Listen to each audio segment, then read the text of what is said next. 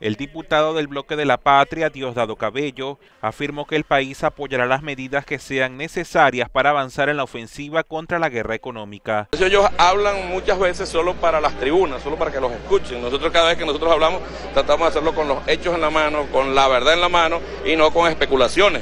Ellos verán si ahora aprueban aquí como corresponde en la Asamblea el decreto de emergencia económica que ha presentado el presidente que tiene que ver con tomar decisiones que garanticen a los venezolanos el ingreso, que garanticen a los venezolanos la producción, que garanticen a los venezolanos los alimentos, que garanticen a los venezolanos las medicinas. Vamos a ver si ellos lo, lo, aprueban. Muy difícilmente lo hagan porque ellos son los generadores de la guerra económica. El diputado por el Partido Socialista Unido de Venezuela exhortó a la mayoría opositora en la Asamblea Nacional a trabajar por la seguridad social de los venezolanos. Así lo expresó a través de un contacto con el canal venezolana de televisión.